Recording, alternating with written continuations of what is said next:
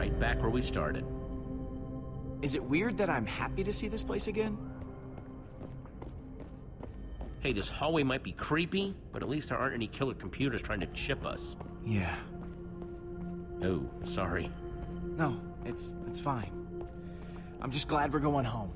Now, when we built this place, we also made something that sort of acts like a compass slash map slash navigator. We called it the Atlas. It helps chart routes between the worlds. And you have this atlas, right? Uh, no. No, I don't. But, but I know who does. Ah, Huh. Guess I should have seen that coming. So wait, you can't get us home? Okay, okay, no. I might not be able to get you home, but I do know where to get the Atlas.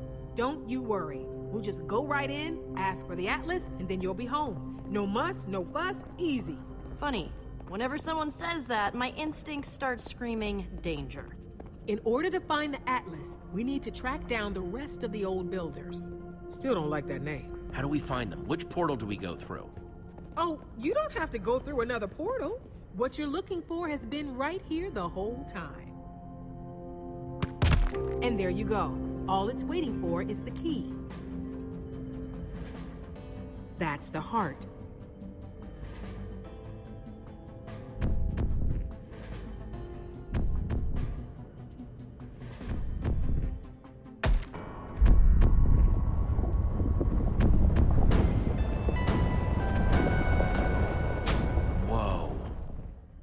Answers you're seeking, the old builder's atlas, your way home, they're all right up those stairs.